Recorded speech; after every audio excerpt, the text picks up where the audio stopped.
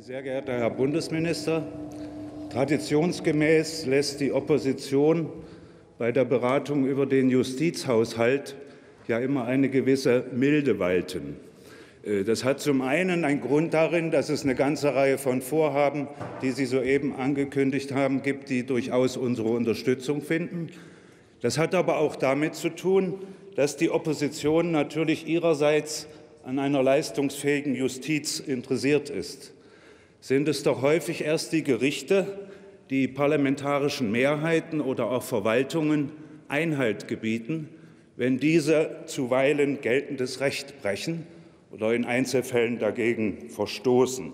Dass das vorkommt, haben Sie jüngst wahrgenommen bei den Kommentierungen von Beobachtungen von Bundestagsabgeordneten meiner Fraktion. Daraus folgt, die Opposition wird dem Justizminister zuweilen helfen, und deshalb sollte umgekehrt gelten, der Justizminister sollte es sich mit der Opposition auch nicht verscherzen. Ich denke, da können wir Einigkeit erzielen. Es gibt eine Reihe von Gründen, die diesen Haushalt um so vieles wichtiger machen, als er bisher schon war. Zwei davon heißen NSU, nationalsozialistischer Untergrund, und NSA, die amerikanische äh, Sicherheitsbehörde und die Enthüllungen Edward Snowdens. Ich denke, da geht es nicht mehr mit einem weiter so. Da sind neue Ansätze gefragt. Wir müssen uns doch nur mal eins vor Augen halten. Während wir in diesen Minuten diesen Etat beraten, werden erneut Daten von Handys, von PCs, auch aus der Mitte des Parlaments auf US-amerikanischen Servern gesammelt. Und jetzt ist doch die Frage, wollen wir uns daran gewöhnen oder wollen wir uns dagegen zur Wehr setzen, wofür wir wären, meine Damen und Herren? Weil die Gefahr besteht doch darin, dass es sozusagen mit einer schleichenden Unterwanderung des Rechtsstaates bisherige Standards der Vergangenheit angehören. Deshalb denke ich, wir müssen die Idee des Rechtsstaates auch neu denken, um die Idee vom Rechtsstaat zu bewahren. Und ich würde in dem Zusammenhang gern die Bundeskanzlerin zitieren, die am 23. Februar 2012 auf der Gedenkveranstaltung für die Opfer des NSU zu den Hinterbliebenen gesagt hat. Als Bundeskanzlerin der Bundesrepublik Deutschland verspreche ich Ihnen, wir tun alles, um die Morde aufzuklären, um die Helfershelfer und Hintermänner aufzudecken und alle Täter ihrer gerechten Strafe zuzuführen. Daran arbeiten alle zuständigen Behörden in Bund und Ländern mit Hochdruck. Ende des Zitats. Es sind seitdem zweieinhalb Jahre vergangen. Die Untersuchungsausschüsse im Bundestag, im Thüringer Landtag und in anderen Landtagen brachten zutage, dass dieses Versprechen der Kanzlerin schon deshalb nicht erfüllt werden kann, weil nach dem Tod der beiden NSU-Terroristen Böhnhardt und Mein Mundlos ungezählte Akten vernichtet wurden. Ich frage mich, ob aus dem Versprechen der Bundeskanzlerin einerseits und den massiven Vorwürfen der Untersuchungsausschüsse an Verfassungsschutz, Polizei und auch die Justiz andererseits nicht der Schluss zu ziehen wäre, auch im Haushalt des Ministeriums die Vorsorge zu treffen, um hier zu anderen Ansätzen zu kommen. Wo bleibt beispielsweise ein Titel Aufarbeitung von Justizversagen beim NSU? Wo bleiben die Ansätze zur besseren Fort- und Weiterbildung von Juristinnen und Juristen auf diesem Gebiet? Und wir haben ja festgestellt, nichts ist wirklich aufgeklärt. Es waren Prozesse, die mit den Begriffen Schreddern, Vertuschen Chorgeistverhalten, Kompetenzwirrwarr zu beschreiben ist. Und wir, nur eine Frage. Konnte V-Leuten bei den Nazis Geld und Straffreiheit wirklich zugesichert werden, ohne staatsanwaltschaftliche Beteiligung? Ich denke, wer Zivilcourage will, muss hier auch Justizcourage zeigen. Ich meine natürlich eine Justizcourage, die den Leuten Mut und nicht Angst macht. Und manchmal irrt Justiz ja bekanntlich auch. Und uns alle erreichen viele Vorschläge an den Bundestag, so etwas wie einen Justizopferfonds einzuführen.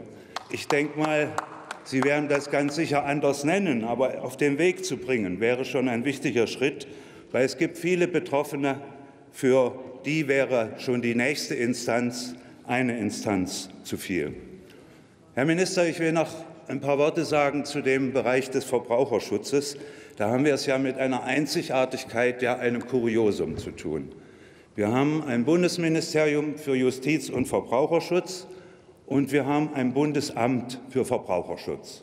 Und wenn man dich so hört, würde man ja wie selbstverständlich davon ausgehen, dass das Bundesamt auch in diesem Ministerium angesiedelt ist. Ist es aber nicht. Angesiedelt ist dieses Bundesamt im Ministerium für Ernährung und Landwirtschaft. Und ich glaube, da haben Sie sich ganz schön über den Tisch ziehen lassen, Herr Bundesminister. Wir wollen, wo Verbraucherschutz draufsteht, muss auch Verbraucherschutz drin sein, dass das klar ist. Dass die Linke in Regierungsverantwortung gute Dinge auf den Weg bringen kann, können Sie auch daran sehen, dass äh, die Regierung in Brandenburg mit der Verbraucherschutzministerin Anita Tack den von Ihnen schon genannten äh, Bundesratsbeschluss zur Begrenzung von Dispozinsen initiiert und dann auf den Weg gebracht hat. Und wenn die Bundesregierung diesem Vorschlag jetzt zustimmen will, denken wir, haben wir einiges erreicht. Wir werden Ihnen erneut auch ein paar Vorschläge unterbreiten in den Beratungen, wie wir noch besser mit dem Patentamt in München umgehen können. Da wissen Sie, sind wir immer für Vorschläge gut und erfreulich ist, dass diesmal schon im Ansatz die Bundesregierung auch den Vorschlägen aus der Opposition ein Stück weit gefolgt ist. Ein viel zu kleines, wie wir meinen, aber wir bleiben da dran und insofern spannende Beratung. Vielen Dank. Vielen Dank. Soweit Roland Klaus für die Linksfraktion, deren Sprecher für Haushaltspolitik ist. Nun Elisabeth Winkelmeier-Becker für die CDU-CSU-Fraktion. Sie ist Sprecherin für Recht und für Verbraucherschutz. Dankeschön. Frau Präsidentin, liebe Kollegen, viele Finanzminister haben es versucht und haben es auch beherzt angekündigt.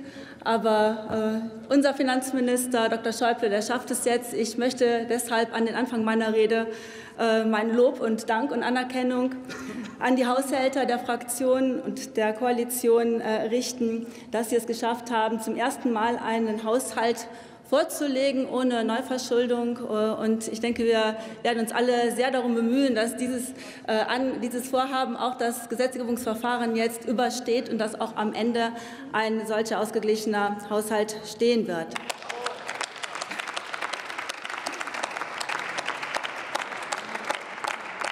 Ich freue mich sehr darüber, nicht nur als Rechtspolitikerin, sondern auch als Mutter von drei Kindern und Großmutter eines kleinen Enkelkindes. Äh, und ich freue mich darüber als Nordrhein-Westfalen, denn da sind wir im Moment anderes gewohnt. Da trinkt die Regierung nur noch Leitungswasser und kann sich noch nicht mal mehr den Sprudel leisten, weil man eben dort nicht so talentiert ist bei dem Umgang mit dem Geld. Ich möchte auf unseren Justizhaushalt eingehen, der der kleinste ist von den einzelnen Haushalten wir haben 0,16 Prozent des Gesamtvolumens bei den Einnahmen und 0,22 Prozent des Gesamtvolumens bei den Ausgaben, aber immerhin eine Deckungsquote von 73 Prozent aus den Gebühren und Einnahmen äh, äh, unseres Geschäftsbereichs das sind natürlich Zahlen, mit denen wir uns beim Finanzminister auch beliebt machen können. Aber unser Schwerpunkt liegt eben nicht im Verteilen von Geld, sondern äh, in guten Regeln, in guter Rechtspolitik. Aber so ganz ohne Geld geht es natürlich auch nicht. Aus unserem Haushalt werden die Bundesgerichte zum Beispiel finanziert. Und äh, Herr Minister, wir waren ja am vergangenen Freitag beim Bundesverwaltungsgericht bei der Amtseinführung des neuen Präsidenten und Vizepräsidenten dort. Äh, es wurden äh, Reden gehalten, es wurde die Bedeutung auch des Verwaltungsgerichts äh, herausgehoben. Sie selber haben Gustav Radbruch zitiert, der gesagt hat, gerade die Verwaltungsgerichtsbarkeit ist der Schlussstein des Rechtsstaats, weil das den Bürgern eben die Möglichkeit gibt, gegen Eingriffe seitens des Staates in der Verwaltung vorzugehen. Es war gerade 25 Jahre und einen Tag her seit der ersten Montagsdemo, wo die Menschen genau auch um das gekämpft haben und dafür demonstriert haben. Ähm, ich denke, wir haben da einen sehr, sehr würdigen Akt äh, erlebt und dem äh, auch, auch beigewohnt. Aber äh, im gleichen Atemzug, Herr Minister, nehmen Sie dort eine Stelle weg, streichen dort eine Richterstelle und äh, ziehen die praktisch ins eigene Haus, geben das Geld aus für eigene zusätzliche Ministerialbeamte. Und äh, das, denke ich, geht nicht. Wir können nicht das Bundesverwaltungsgericht Teil der äh, dritten Staatsgewalt. Hier behandeln wir eine nachgeordnete Behörde, wo man das Geld aus dem einen Haushalt nimmt und dem eigenen äh, einverleibt. Dazu ist das Bundesverwaltungsgericht zu wichtig. Wir haben einige große Planungsvorhaben äh, vor. Äh, bei denen ist es nicht untypisch, dass hinterher sich auch Gerichtsverfahren anschließen. Äh, und die dürfen dann nicht deshalb länger dauern, weil wir weniger Richter und mehr Ministerialbeamte haben.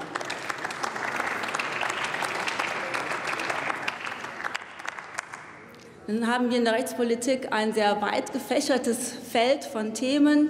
Äh, man kann nicht alles beleuchten. Ich möchte äh, vor allem heute eingehen auf das, was wir in der Rechtspolitik gerade von Seiten der Union tun wollen, um den Mittelstand äh, zu stärken, den wirtschaftlichen, aber auch gesellschaftlichen Mittelstand, weil er eben das Rückgrat auch unserer Wirtschaft und auch der Gesellschaft ist und es deshalb eben auch wert ist, sich hier besonders darum zu kümmern.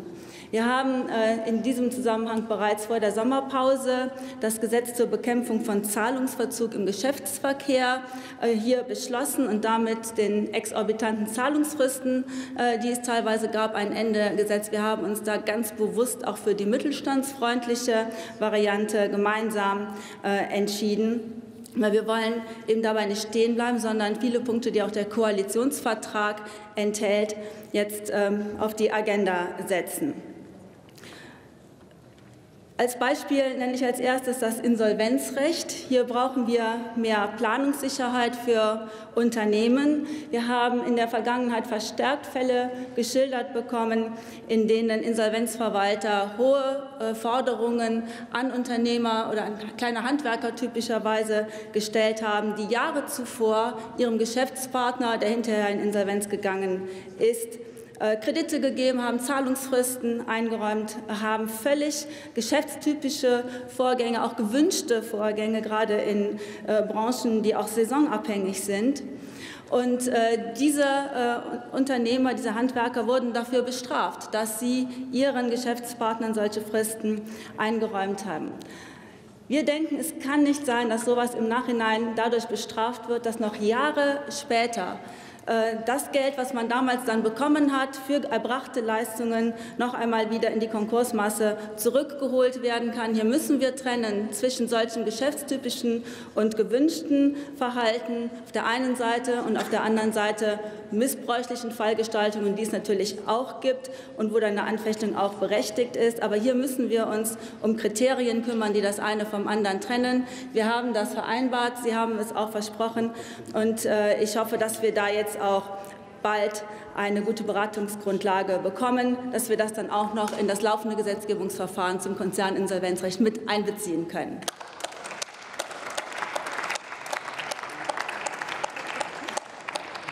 Ein äh, zweiter Punkt ist das Gewährleistungsrecht, auch gerade für Handwerker ein wichtiger Punkt. Da gibt es eine Unwucht zulasten mittelständischer Unternehmen, äh, gerade in den Fällen, in denen die Produkte, die verwendet werden, die eingebaut werden, unerkannte Mängel haben. Nehmen Sie den Handwerker, der Fliesen einbaut, die äußerlich makellos aussehen, aber dann doch auch schnell brüchig werden. Da kann der Kunde, sein Kunde ihn in Anspruch nehmen, er muss alles wieder herrichten.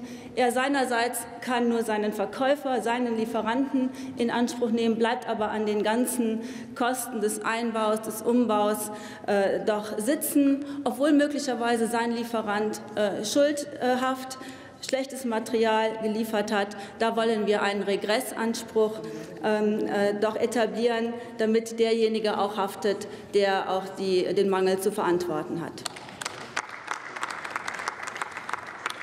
Ein weiterer Punkt, um es unseren mittelständischen exportorientierten äh, Firmen einfacher zu machen.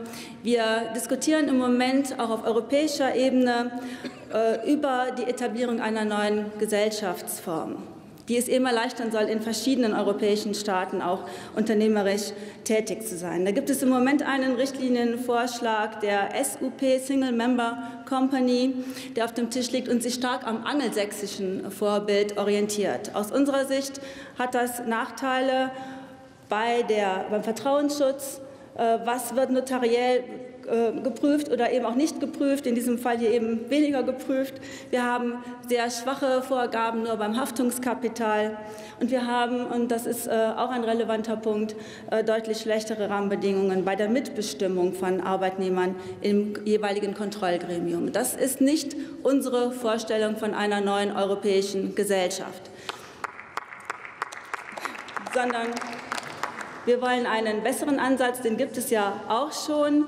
Die SPE, eine andere Gesellschaft, die sich mehr an unserem, unserem System orientiert. Da die herzliche Bitte, ich glaube, wir sind uns hier einig, ich entnehme das ja auch ähm, Ihrer Reaktion und weiß das auch, äh, da die herzliche Bitte, dass wir uns rechtzeitig aufmachen, auf europäischer Ebene bei den anderen Ländern Verbündete zu suchen, denn äh, nicht jeder findet automatisch das deutsche System besser als das angelsächsische. Ich bin davon überzeugt, dass unser System da maßgebliche Vorteile hat und dass es sich lohnt, dies auch auf europäischer Ebene zu etablieren. Nächster Punkt ist die Frauenquote. Ich freue mich ja sehr, dass wir hier in dieser Legislaturperiode jetzt auch maßgebliche Schritte machen werden, damit äh, auch in den Führungspositionen es letztlich nur noch auf Qualifikationen ankommt und eben dann nicht mehr aufs Geschlecht ankommt. Aber ich bin auch dankbar, wenn wir äh, auch in dieser Phase darauf achten, wie das praktikabel umgesetzt werden kann, dass wir ein offenes Ohr dafür haben, wo in der Praxis, in der Umsetzung Schwierigkeiten sind. Und sie sind naturgemäß da am größten, wo die Gremien kleiner sind oder wo auch die, die Familienbindung eines Unternehmens größer ist, wo es dann eben nur Söhne äh, gibt, ist eine Frauenquote schwieriger zu erfüllen als in äh, anderen nicht so familiengebundenen Unternehmen bin ich sehr dankbar, dass wir die Freiheit haben, die Flexibilität haben, darauf einzugehen. Ähm, denn ich glaube, davon wird auch die Akzeptanz letztendlich der Frauenquote abhängen und damit auch die Frage, wie sehr sie funktioniert. Ich möchte allerdings in diesem Zusammenhang auf einen Widerspruch, der sich da auftut, noch hinweisen. Maßgebliche Impulse für diese Frauenquote kamen von Europa. Viviane Reding als Justizkommissarin äh, hat hier Druck gemacht und das hat auch unsere Diskussion ja ein Stück weit mitbestimmt. So, und jetzt haben wir den Befund, dass gerade bei der europäischen Gesellschaft der SE diese Quote nicht verbindlich gilt, sondern dass wir das nur für Aktiengesellschaften haben. Das ist natürlich letztendlich ein Paradoxon, muss man wirklich sagen. Von Europa kam diese Vorgabe und jetzt ist die europäische Gesellschaftsform geradezu der Ausweg, um sich der verpflichtenden Vorgabe zu entziehen. Und das betrifft Firmen, äh, die eigentlich wirklich auch klare Kandidaten für diese Quote wären, BASF, SAP, Allianz und so weiter und so fort. Ähm, da würde ich doch vorschlagen, dass äh, wir auch für die europäische Ebene mal den Vorschlag machen, dass da dieser Widerspruch aufgehoben wird und äh, würde das auch gerne dem Minister ans Herz legen, das auch äh, in Brüssel anzusprechen. Die letzten Sekunden noch für ein Thema, das auch zunehmend wichtig wird und Unternehmen betrifft, die Situation der Syndikusanwälte. Wir haben ein aktuelles, vielbeachtetes Urteil des Bundessozialgerichts, äh, das sich auf die gesetzliche Rentenversicherung bezieht und die Frage, unter welchen Bedingungen äh, Syndikusanwälte dort befreit werden können. Wir haben da eine langjährige Praxis, dass angestellte Syndikusanwälte dann, wenn sie eben also weisungsungebunden, äh, rechtsgestaltend äh, und beratend in einem Unternehmen tätig sind, in der Versorgung der Rechtsanwälte im Versorgungswerk bleiben können. Das ist bisher die Grundlage für, für berufliche Verläufe, die auch sehr flexibel sind und wie sie gerade auch von unseren Unternehmen ähm, erwartet werden, wie sie auch einen Mehrwert an Erfahrung bieten wenn das jetzt unterbunden äh, wird, dann äh, wird das äh, zu sehr viel Verunsicherung führen und auch zu, zu schlechteren Ergebnissen, denn es Klar, wer durch einen beruflichen Wechsel dann auch aus seiner gewohnten Altersversorgung aussteigen muss, der wird sich das dreimal überlegen. Wir sind daran interessiert, hier an einer flexiblen und sachgerechten Lösung äh, zu arbeiten und äh, haben uns das auch fest vorgenommen. Die ersten Vorschläge und Überlegungen liegen dazu vor. In diesem Sinne werden wir weiter dafür sorgen, dass gute Rahmenbedingungen für unseren wirtschaftlichen und gesellschaftlichen Mittelstand gegeben sind. Und äh, in dem Sinne wünsche ich uns auch weiter gute Beratungen. Herzlichen Dank. Soweit Elisabeth Winkelmeier-Becker für die CDU-CSU-Fraktion, deren Sprecherin für Recht und Verbraucherschutz sie ist. Weiter geht es in der Debatte zum Haushalt des Justizministeriums mit Tobias Lindner, Bündnis 90 Die Grünen. Geschätzte Frau Präsidentin, liebe Kolleginnen und Kollegen, meine sehr geehrten Damen und Herren, wahrlich, wir diskutieren hier einen besonderen Etat. Der Kollege Roland Klaus sprach von Milde der Opposition. Keine Sorge, ich werde sparsam damit umgehen. Der Minister und Sie, Frau Winkelmeier-Becker, haben erwähnt, wir reden über den mit Abstand kleinsten Etat eines Ministeriums in der Bundesregierung. Ich will den Zuschauerinnen und Zuschauern vielleicht nur noch ein illustratives Beispiel geben. Allein die Kürzungen, die die Große Koalition letztes, im letzten Haushalt beim Verteidigungsetat vorgenommen hat, 400 Millionen Euro in der Bereinigungsnacht. Allein diese Kürzungen entsprechen fast den Ausgaben, die Heiko Maas im Jahr 2015 tätigen können soll, nämlich 414 Millionen Euro. Und man könnte versucht sein, dann zu denken, wir würden hier über einen Geschäftsbereich in der Bundesregierung reden, der unbedeutend wäre, der unwichtig wäre. Ich denke, es ist bereits in dieser Debatte, das will ich auch als Hauptberichterstatter für diesen Etat sagen, bereits hervorgedrungen, es geht nicht nur um Geld. Wir alle, egal von welcher Fraktion, haben Interesse an einem funktionierenden Justizsystem. Und natürlich braucht es hier vor allem kluge und gut gemachte Regeln. Und ich will der Koalition an einer Stelle auch entgegenkommen. Man braucht sogar kluge Regeln und Normen im Bereich des Verbraucherschutzes. Jetzt kommt das große Aber in einem Bundesministerium der Justiz und für Verbraucherschutz, das erst noch zusammenwachsen muss. Da ist Geld vielleicht nicht alles, aber liebe Kolleginnen und Kollegen, da geht ohne Geld manchmal auch nichts. Und da reicht es eben nicht aus, dass nur ein Drittel der Mittel für den Verbraucherschutz bei einem Neuzuschnitt der Ministerien in das BMJV gewandert ist. Da ist der Verbraucherschutz wie auch im Haushalt 2014 leider immer noch chronisch unterfinanziert. Ich will dies an zwei Themen deutlich machen. Die Marktwächter wurden bereits angesprochen. Im letzten Haushalt hat die Koalition hier eine Anschubfinanzierung für einen Marktwächter im Bereich Finanzmarkt in Höhe von 2,5 Millionen Euro eingestellt. Sie selbst haben sich in Ihrem Koalitionsvertrag vorgenommen, Marktwächter für den Finanzmarkt und für digitale Welt zu schaffen. Damit Sie mich richtig verstehen, das ist auch bitter notwendig. Wenn wir eine Lehre aus der Finanzkrise ziehen sollten, dann ist es, dass wir hier die Lobby der Verbraucherinnen und Verbraucher stärken müssen. Wenn wir eine Lehre daraus ziehen sollen, heute Morgen sprach Wolfgang Schäuble über Industrie 4.0, über die Digitalisierung unserer Wirtschaft, über neue Geschäfts- und Nutzungsmodelle. Wenn wir daraus eine Lehre ziehen sollen, dann muss diese Lehre heißen, dass auch hier die Lobby, die Interessensverbände, die Macht der Verbraucherinnen und Verbraucher in diesem Bereich unbedingt gestärkt werden muss, liebe Kolleginnen und Kollegen. Und dann reicht es eben nicht aus, wenn Sie im Etatansatz diese Mittel nur um 800.000 Euro erhöhen wollen. Die Verbraucherzentrale Bundesverband selbst spricht von einem Bedarf für eine Anschubfinanzierung von 7 Millionen Euro, nicht von 3,3, wo wir dann wären. Und mittelfristig, wenn beide Marktwächter hoffentlich am Laufen sind, kommt ein Finanzbedarf von etwa 14 bis 15 Millionen insgesamt auf uns zu. Und bevor später die geschätzten Kollegen Kröler und Rode mir entgegnen werden, dieses Geld sei Zeiten einer schwarzen Null nur schwer im Einzelplan zu finden, dann will ich eins entgegenhalten. Was Sie eben nicht tun können, liebe Kolleginnen und Kollegen von der Großen Koalition, ist ein Koalitionsvertrag zu verabschieden, wo Sie sagen, alle nicht prioritären Vorhaben müssen aus den Einzelplänen finanziert werden. Dann schneiden Sie die Ministerien neu zu, was Sie ja tun können, wo es ja durchaus Gründe dafür gibt, das so zu sehen, wie Sie es sehen.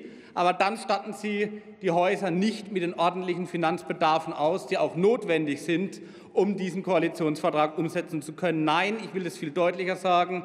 Sie haben ein Ministerium geschaffen, auf das Ihr eigener Koalitionsvertrag nicht anwendbar ist, liebe Kolleginnen und Kollegen. Ich will einen zweiten Punkt erwähnen im Bereich des Verbraucherschutzes, die institutionelle Förderung. Jetzt steht ein Grüner zwar vor Ihnen. Ich habe mich in meinem Studium viel mit Ludwig Erhard befasst und mit den Vätern der sozialen Marktwirtschaft. Und ich habe mich lange gefragt, was wird Ludwig Erhard denn in einer Situation wie der heutigen, wo es wir mit zunehmenden Lobbyinteressen zu tun haben, mit Digitalisierung, Internationalisierung unserer Wirtschaft, was wird er wohl sagen? Und wenn Sie da in Schriften reingucken von Erhard und Eucken, dann sehen Sie, dass sehr wohl darüber gesprochen wird, dass wir mündige Konsumentinnen und Konsumenten brauchen, dass wir was abbauen müssen, was der Fachmann oder die Fachfrau Informationsasymmetrie nennt, dass wir mündige und mächtige Verbraucherinnen und Verbraucher brauchen. Und wenn wir die brauchen, liebe Kolleginnen und Kollegen, dann geht es eben auch nicht, was Sie bei der Verbraucherzentrale Bundesverband und der Stiftung Warentest in ihrem Haushaltsentwurf tun. Bei der Verbraucherzentrale Bundesverband erhöhen Sie die Mittel nur sehr gering. Da können Sie noch nicht mal Tarifsteigerungen mit auffahren. Und bei der Stiftung Warentest toppen Sie es noch. Nicht, dass Sie Ihren Koalitionsvertrag nicht umsetzen würden, das, was auf Seite 124 steht, und die Mittel einfach nicht erhöhen würden. Nein, Sie kürzen die Mittel sogar noch. Das ist ein Widerspruch zu dem, was Sie vor einem Jahr verabredet haben. Und da werden wir Grüne Ihnen in den Haushaltsberatungen aufzeigen, was wir anders machen würden und wo wir die institutionelle Förderung der Arbeit für die Verbraucherinnen und Verbraucher stärken würden. Ich will zum Schluss kommen. Ich freue mich als Hauptberichterstatter auf die Zusammenarbeit mit den Kolleginnen und Kollegen hier im Hause, im Haushaltsausschuss mit Roland Klaus, Dennis Rode und Klaus-Dieter Kröder. Ich freue mich auf die Zusammenarbeit mit dem Ministerium und ich hoffe, dass wir am Ende dieser Haushaltsberatung nicht nur wie heute irgendwie fröhlich sind, dass wir einen Haushaltsplan ohne neue Schulden vor uns haben, sondern vor allem, dass wir einen Verbraucherschutz- und Justizetat endberaten werden in einigen Wochen hier, der den Herausforderungen der Zeit wirklich gerecht wird und der auch wirklich ein Etat für den Verbraucherschutz ist. Ich danke Ihnen. Danke. Tobias Lindner war das Bündnis 90 Die Grünen. Nächster Redner ist jetzt Dennis Rode für die SPD-Fraktion. Frau Präsidentin, liebe Kolleginnen und Kollegen! Deutschland ist das Land der Ideen und Innovationen. Ingenieurskunst, medizinischer Fortschritt, Logistik, Transport und zukunftsweisende Entwicklungen im Internet stehen exemplarisch für eine führende Rolle auf dem Markt der Ideen. Und wir als SPD-Bundestagsfraktion wollen, dass das auch so bleibt. Denn unsere Wirtschaft verdankt einen guten Teil ihrer Stärke und Robustheit eben gerade dem Erfindungsreichtum von Unternehmen, von Unternehmern, von Wissenschaftlern und von Tüftlern. Diese Stütze unserer Wirtschaft wollen wir schützen und noch weiter verstärken. Schützen, zum einen durch ein Urheberrecht, das auf der Höhe der Zeit ist, schützen aber auch, und ich möchte das zum Hauptgegenstand meiner Rede zum Entwurf des Einzelplans 07 machen, durch Stärkung der Arbeit des deutschen Patent- und Markenamtes. Das deutsche Patent es genießt nicht von ungefähr im internationalen Kontext den Ruf, ein goldenes Patent zu sein. Und auch darum gehen beim deutschen Patent- und Markenamt eine beeindruckend hohe Zahl von Patentanträgen ein. Allein im Jahr 2013 wurden über 60.000 Patente angemeldet, darunter auch ein großer Teil von ausländischen Antragstellern, Antragstellern aus den Vereinigten Staaten von Amerika, aus Japan, der Republik Korea, aus Österreich, Schweden oder aus Taiwan. Das zeigt deutlich, das deutsche Patent es genießt Wertschätzung in aller Welt. Aber gerade dieser Stellenwert des deutschen Patents bringt Herausforderungen mit sich, die wir nicht auf die lange Bank schieben können, sondern die wir jetzt anpacken und lösen müssen. Zu den genannten über 63.000 Patentanmeldungen, die das DPMA 2013 erreichten, kommen nämlich noch 15.500 Gebrauchsmusteranträge, 60.000 Anträge auf Eintragung einer Marke und 55 Beantragungen zum Schutz eines Designs. Die Quantität der Prüfungen ist allerdings nur die eine Seite der Medaille modernste Elektronik, Informationstechnologie, Biotechnologie, aber auch die Globalisierung. Das alles fordert immer größeres Fachwissen, eine immer größere Wissenstiefe auch über Details und das immer auf dem aktuellsten Stand von Forschung und Technik und besonders von bereits vergebenen Patenten. Derzeit gibt es beim DPMA etwa 170.000 offene Vorgänge. Dass eine gewisse Zahl von Patentanträgen immer in der Bearbeitung liegt, das liegt in der Natur der Sache. Aber der Rückstau erwächst Jahr für Jahr. Die Anzahl der nicht bearbeiteten Anträge steigt jährlich um ca. 5.000 an.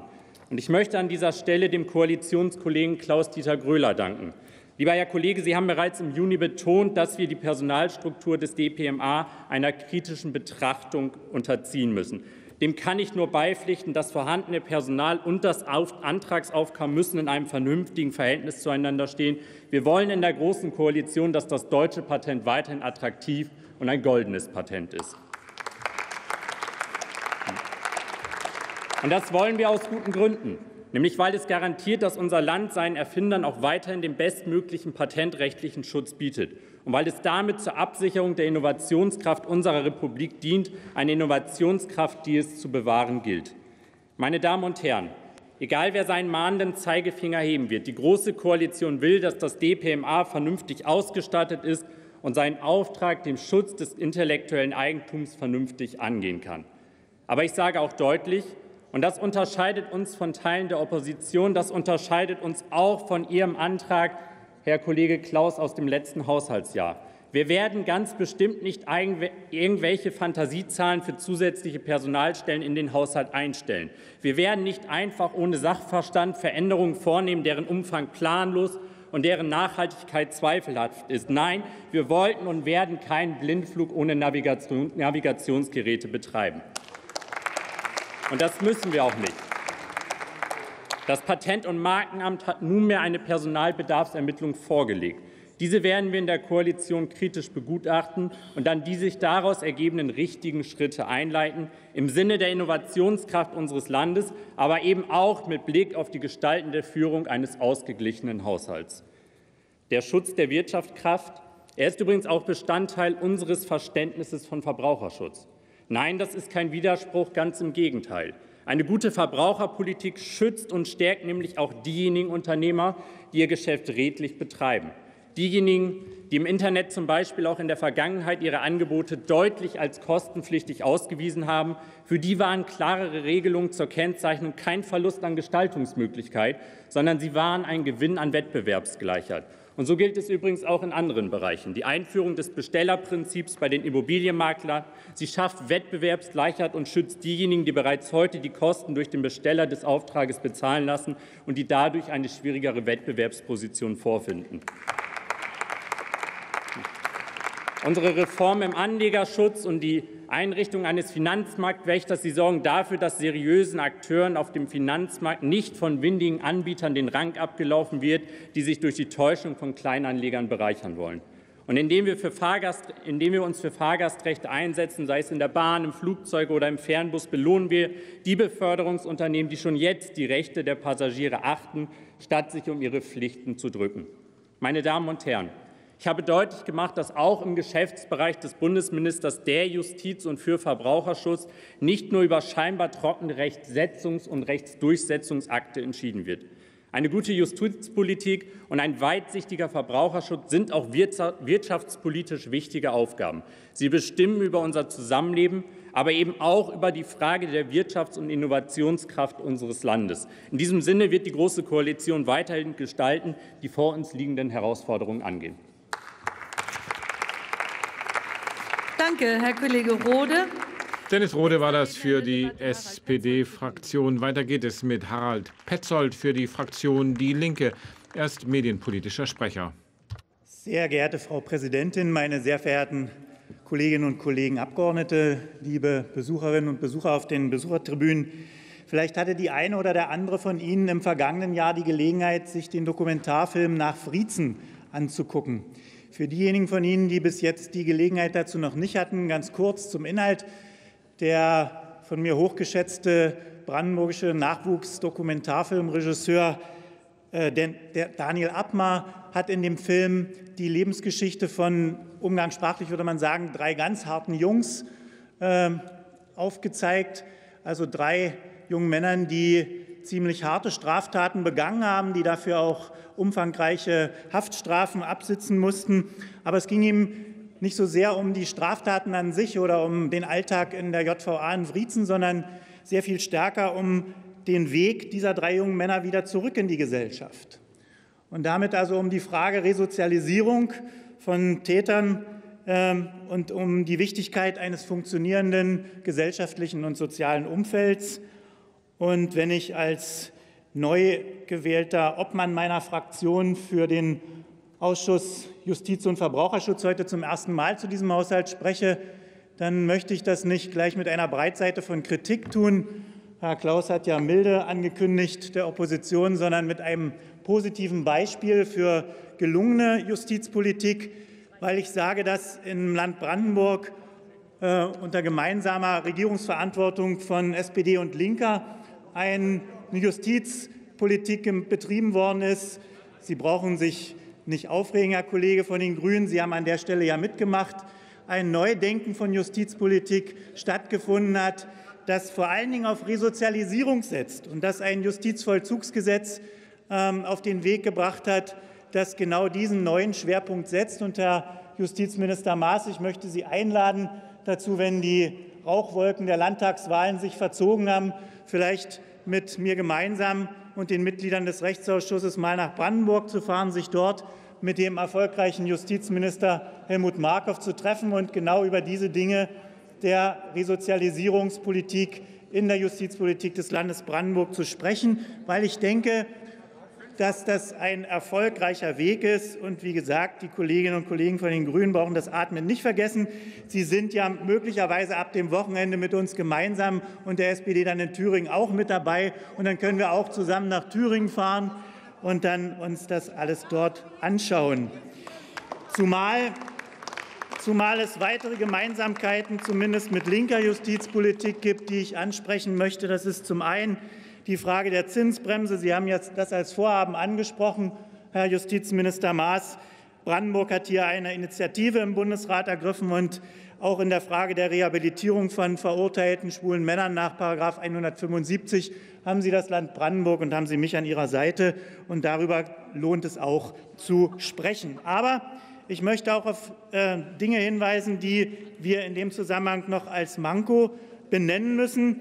So hat Justizminister Markov sehr stark darauf hingewiesen, dass, die, dass, das Ziel der Resozialisierung durch die bislang nicht erfolgte Einbeziehung in die Renten- und Sozialversicherung für Gefangene ähm, äh, konterkariert wird. Und ich erlaube mir, Frau Präsidentin, mit Ihrer Genehmigung den Minister zu zitieren, der gesagt hat, dass die von Gefangenen geleistete Arbeit derzeit nicht bei der gesetzlichen Renten-, Kranken- und Pflegeversicherung berücksichtigt wird, hat verheerende Auswirkungen auf die Zeit nach der Haftentlassung.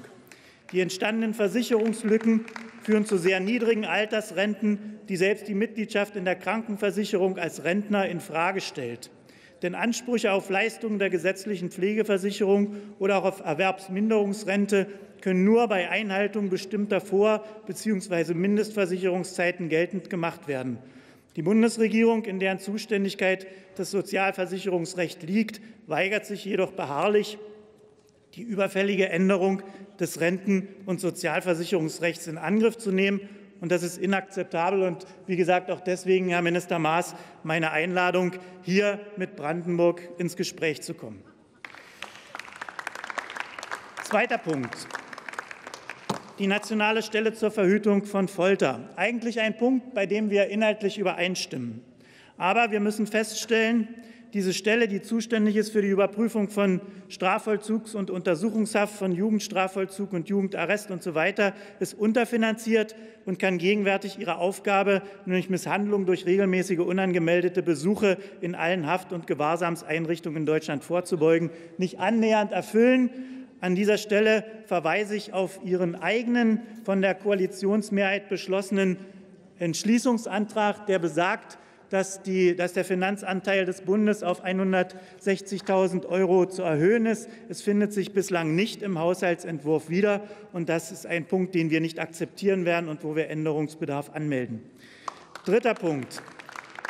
Die Bundesstiftung Magnus Hirschfeld, Herr Minister, Sie waren am letzten Donnerstag mit mir gemeinsam auf dem Charity Dinner dieser Stiftung, wo Spendengelder eingeworben sind. Sie haben selbst in, ihrer, in Ihrem Grußwort die zentralen neuen Projekte gewürdigt. Und ich möchte Sie an dieser Stelle auch unterstützen in Ihren Bemühungen, diese beiden großen Projekte Fußball für Vielfalt, Fußball gegen Homophobie und Archiv der anderen Erinnerungen auch tatsächlich so zu unterstützen, dass die Stiftung diese umfangreiche Arbeit auch leisten kann.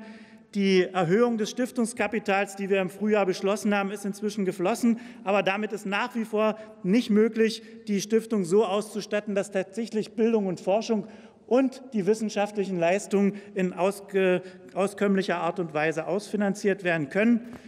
Hier fordern wir ebenfalls eine entweder Aufstockung des Stiftungskapitals oder aus unserer Sicht sogar noch viel besser institutionelle Förderung in Höhe von 250.000 Euro.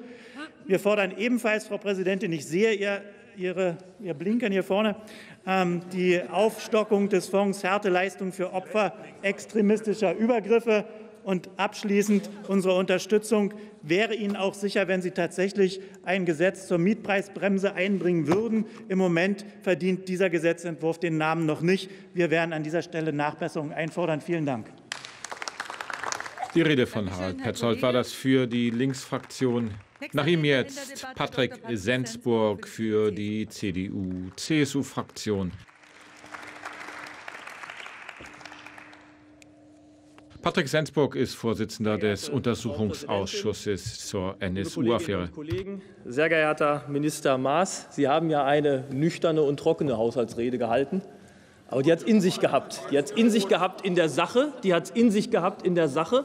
Und ich glaube, die Rede hat gezeigt, dass die Justizpolitik zwar mit dem Einzeletat den kleinsten Haushalt hat, aber in der Sache sehr stark aufgestellt ist. Von daher begrüße ich Justizpolitik, wie sie sich bei uns im Parlament im Rechtsausschuss, Frau Künast, schön, dass Sie hier sind, widerspiegelt und durch Minister Maas heute vorgetragen worden ist. Sie haben ein großes Vorhaben gar nicht so besonders pointiert betont. Es ist die Reform der Strafprozessordnung. Für mich eines der wesentlichen Punkte dieser Legislaturperiode, die fast umfassende Überarbeitung der StPO, insbesondere wesentlicher Paragraphen des Strafgesetzbuches, die Reform vom Ermittlungsverfahren über das Zwischenverfahren bis hin zum Hauptverfahren. Sie werden das Rechtsmittelverfahren in den einzelnen Kommissionen, die Sie gebildet haben, überarbeiten, das Vollstreckungsverfahren. Sie werden grundlegend diskutieren, wie der Beschuldigtenstatus definiert werden muss. Sie werden diskutieren, wie es mit dem Richtervorbehalt zum Beispiel in § 81a der StPO bei der Blutentnahme aussieht, bei den Regelungen zu Befangenheitsanträgen, wenn sie denn verspätet kommen, frühzeitig geahnt, gewusst, aber dann nicht gestellt, um das Verfahren zu verzögern. Da werden wir diskutieren, ob solche Befangenheitsanträge nicht verspätet sind und dann zurückgewiesen werden müssen. Und wir werden darüber diskutieren, ob es denn bei der Erhöhung des Strafrahmens nach den Paragraphen 407 fortfolgende beim Strafbefehl nicht einen höheren Strafrahmen geben muss. Also ich muss sagen, wir haben hier ein Projekt, was mit viel Sorgfalt angegangen werden muss. Sie haben eine Kommission eingesetzt, die Sachverstand hat. Und ich würde mir wünschen, dass das Parlament frühzeitig beteiligt wird, dass wir nicht vor vollendete Tatsachen gestellt werden, sondern intensiv von Anfang an mitdiskutieren.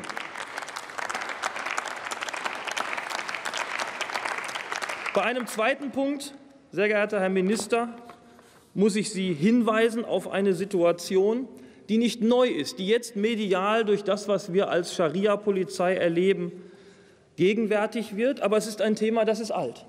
Wir haben bereits in den Haushaltsreden 2011, 2012 eine eigene Stelle im Bundesjustizministerium gefordert, um dieses Phänomen näher zu beleuchten des Scharia-Rechts. Sie haben in Ihrem Ministerium eine Stelle die sich ausschließlich damit beschäftigt, Licht in das Dunkel des Scharia-Rechts und dieser Paralleljustiz zu bringen. Eine Stelle, die wir im Haushalt eingestellt haben mit A13 bis B3, also wirklich eine solide Stelle, die dieses Phänomen erstmal beleuchten soll, damit wir auf soliden Kenntnissen Schlussfolgerungen treffen können. Nicht Spekulationen, Vermutungen. Seit zwei Jahren arbeitet die Stelle. Und ich bitte einmal zu schauen im eigenen Ministerium, was denn der Sachstand ist, was da rausgekommen ist, dass wir nicht wilde Diskussionen über einen Sachverhalt haben, wo wir zu wenig wissen, sondern Sie müssen hier Aufklärung liefern. Und ich glaube, dafür haben wir frühzeitig debattiert, diskutiert und Sie haben die Voraussetzungen in Ihrem Ministerium und da erwarten wir auch Aufklärung. Ein weiterer Punkt, die Kollegin Winkelmeier-Becker hat ihn angesprochen, ist das Thema Insolvenzordnung. Hier die Änderung der Paragraphen 133 und 142 der Insolvenzordnung. Wir haben in vielen Gewerben, vielen Handwerksbereichen, aber insbesondere zum Beispiel in der Baustoffhandel, im Baustoffhandel immer wieder Fälle, wo am Markt ganz normale Stundungen vorkommen und die aktuelle Rechtsprechung dazu führt, dass bis zu zehn Jahre nach einer Stundung man sich nicht sicher sein kann, ob möglicherweise der gestundete und dann gezahlte Preis wieder in die Insolvenzmasse fällt. Eine hohe Unsicherheit bei den Unternehmen, eine hohe Rechtsunsicherheit. Es handelt sich hier um einen zwei, teilweise sogar wird gesagt, dreistelligen Millionenbetrag für die Wirtschaft. Und hier müssen wir etwas tun. Hier fällt auseinander das, was der Gesetzgeber meinte mit der Insolvenzanfechtung und inzwischen, wie die Rechtsprechung es immer öfters in Einzelfallentscheidungen versteht. Das sind wir unserer Wirtschaft schuldig. Hier müssen wir zügig handeln. Und ich freue mich, dass gerade die Union gemeinsam aber mit der SPD jetzt dieses Thema angeht. Und ich glaube, das könnte auch etwas sein, wo die Opposition in das Thema einsteigt. Ich glaube, das ist ein wichtiges Thema insgesamt für unsere Wirtschaft. Und ich freue mich, wenn wir das gemeinsam in der Rechtspolitik schaffen. Ein weiteres Thema, auch angesprochen von Frau Winkelmeier-Becker, ist das Thema Syndikusanwälte. Wir haben Syndikusanwälte seit dem Mittelalter. Das ist nichts Neues. Wir haben sie in der, in der Rechtsanwaltsordnung, in der Bundesrechtsanwaltsordnung seit 1959 aufgenommen. Und jetzt gibt es eine Entscheidung des Bundessozialgerichtes seit April 2014, die stellt das auf den Kopf. Die sagt, Syndikusanwälte können nicht mehr im Versorgungswerk rentenversichert sein. Das geht nicht, meine Damen und Herren. Hier müssen wir eine Klarheit schaffen. Rund ein Viertel der deutschen Anwälte sind Syndikusanwälte, 30 bis 40.000. Und wir schaffen etwa eine Situation, wo diese Anwälte keine Klarheit bezüglich der Rentenversicherung mehr haben in den Versorgungswerken. Das müssen wir angehen. Das ist eine Einzelentscheidung, die schwerst nachvollziehbar ist. Und da ist die Politik, glaube ich, in der Pflicht, Klarheit zu schaffen, wenn Unklarheit herrscht. Und das werden wir in der Koalition angehen. Ich möchte nur noch auf zwei Punkte eingehen. Einer liegt mir am Herzen als Berichterstatter für Mediation. Wir haben in der letzten Legislaturperiode mit allen Fraktionen einstimmig ein Mediationsgesetz verabschiedet nach langem Ringen. Auch mit dem Bundesrat im Vermittlungsausschuss ist es dann uns gelungen, zu einem guten Ergebnis zu kommen. Dieses Mediationsgesetz wird in der Fachwelt angenommen, positiv angenommen. Jetzt geht es um die Umsetzung, um die Rechtsverordnung, die das Bundesministerium für Justiz und Verbraucherschutz am 31. Januar diesen Jahres zur Diskussion gestellt hat.